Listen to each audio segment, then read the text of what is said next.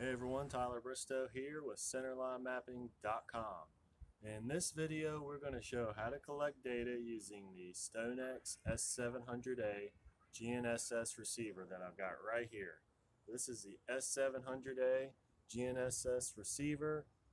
It's dual frequency, 700 channels, Wi-Fi, Bluetooth, full constellation, RTK enabled GNSS receiver. It's designed to endure a two meter pole drop. I dropped mine one time. You can see it's got a little bit of a ding right there, but other than that, it's it's a solid GNSS receiver. I've been using it with local VRS and getting under half a centimeter accuracy. And I'm going to show you right now how I use it to collect GPS data and then make maps and collect the positions of our paint marks. So I'm going to show you how to use it with Cube A software. I'm going to turn the camera around, I'm going to open up Cube A and show you how we do this. Uh, paint marks have already been put on the ground. We are going to map telecom, there's an electrical, water, and sewer line. So that's all we're going to be mapping here.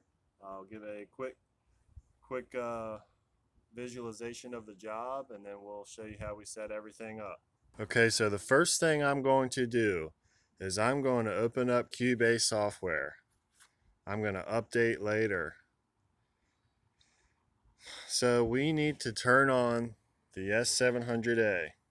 Just push and hold that button and when that thing turns on, Cube A is going to pair with it via Bluetooth and it's going to connect to a local VRS network that I've already punched into this Cube A software and we're going to get an initialization and fixed position. So as soon as this software in my hand on the Android device connects to that, we'll see it and we'll get started. So you can tap on device in the bottom left and go to communication.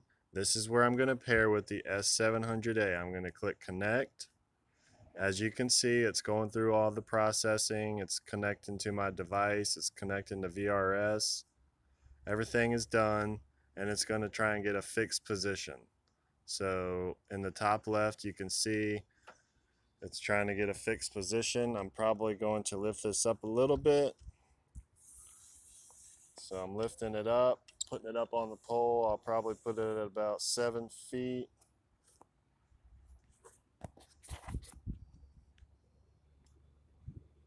Okay, I've got a fixed position. I put it higher up in the sky.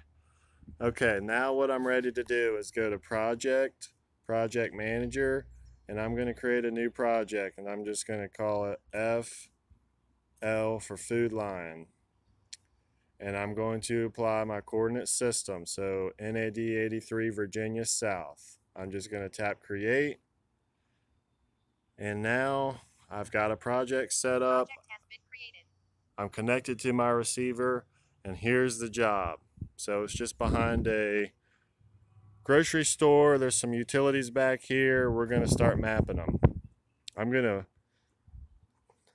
turn this camera off as we do this or you'll just be seeing a bunch of stuff. So here we go.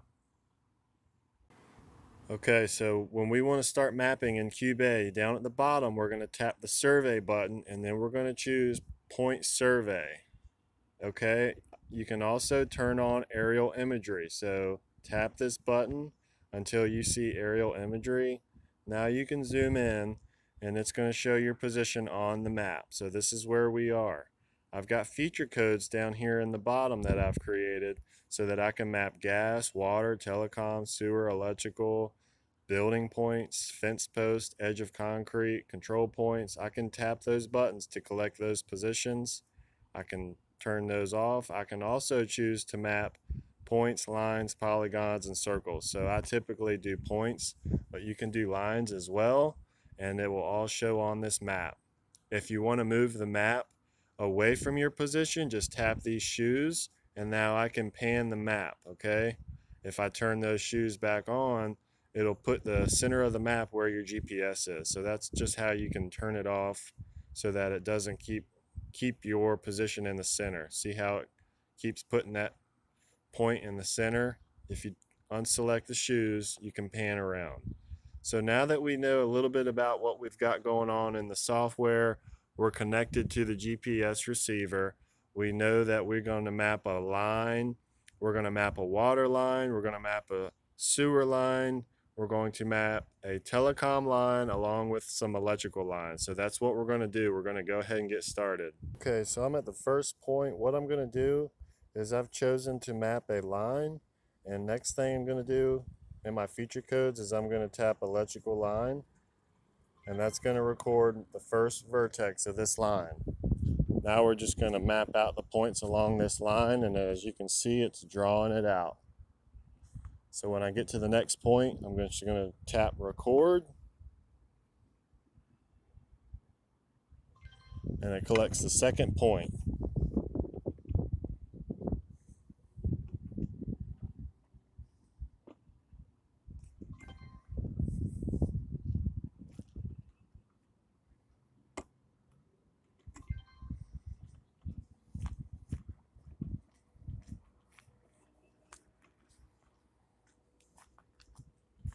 Okay, so I'm at this electrical meter. I'm going to tap record and then I'm going to tap this little button down here with the check and that's going to end my polyline. Do you want to close the polyline? No. Okay, so now I've got these five points. I've got my electrical line. What you can do is tap this arrow in the top left. You can go to your project and your point library and these are all my points. It stores the northing, the easting, the elevation, along with the latitude and the longitude, along with the ellipsoid height. And there's my code. EL stands for electrical. So that's what I can use in GIS software to symbolize this data. So I'm going to go back to the map by tapping survey, point survey, and now we can map out the, the sewer line. So I'm just going to stand on the sewer point, which is right over here, and I'm going to collect the first point and make sure you choose sewer line feature code. So I'm going to tap sewer line. Delay more than 5.0. Okay.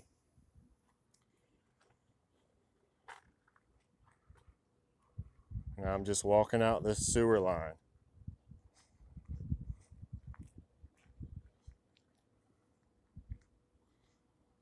the sewer lid right here.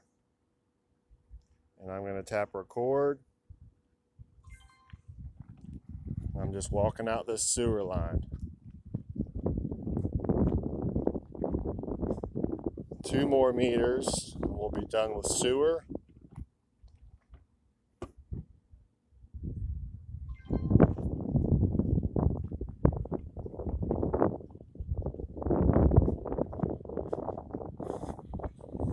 As you can see in the top, it's showing I've got a fixed position. So I'm just going to tap record one more time. And then to end this polyline, I'm going to click the checkbox.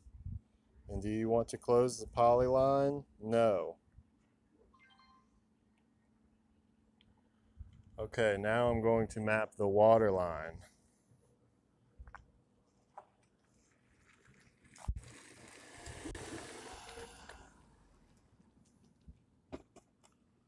So I'm going to choose water line.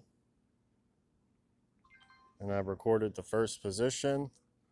And this water line is pretty straight, so I'm just going to walk it out. We'll map, we'll map a straight line. And then there's some water meters. I'll show you how we can collect those water meters.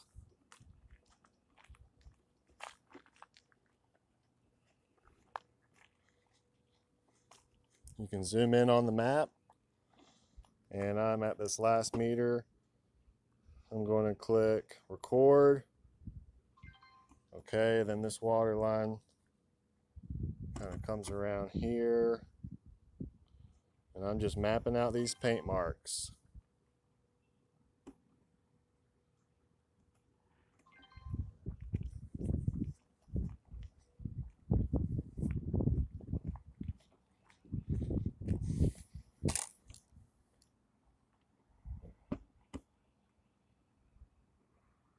As you can see, we're still getting a fixed position, 0.063 horizontal. That's in feet. Okay, almost done with water. Okay, so now we've got electrical and water and sewer mapped out. There's a telecom line. I want to map that one. I'm going to come back over here.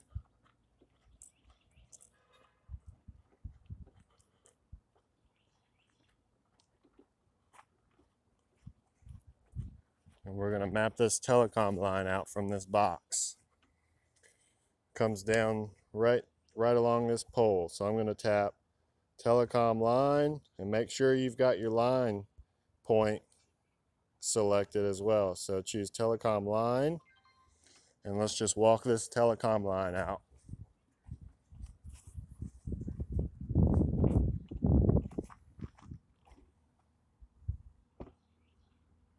Tap record. And if the line goes straight, you can just map it a couple times along the line. And if it's not straight, then map it at each time it bends.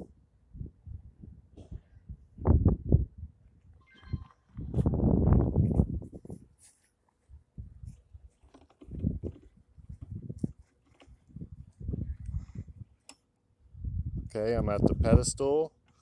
As you can see in the imagery, there's a pedestal right about here. So I'm going to tap record and then I'm going to map it to the building.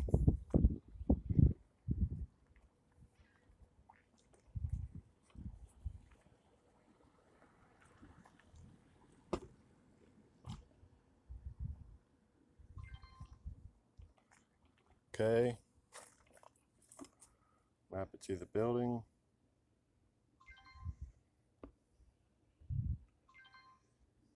Okay, so we have finished up mapping everything out here. Next thing we're going to do is take this data and export it out of Cube A and then we're going to import it into QGIS. So what we can do is in the top left, tap that arrow, tap project in the bottom left, and then we can export data. So I'm going to tap export data and you can choose the file type. I like to export shape files. So I'm just going to choose points and CAD entities to shapefile. You can export DXF, CSV, DXF, Google Earth, KML. So I like to do shapefile, tap that, tap the share after exporting, and then tap export.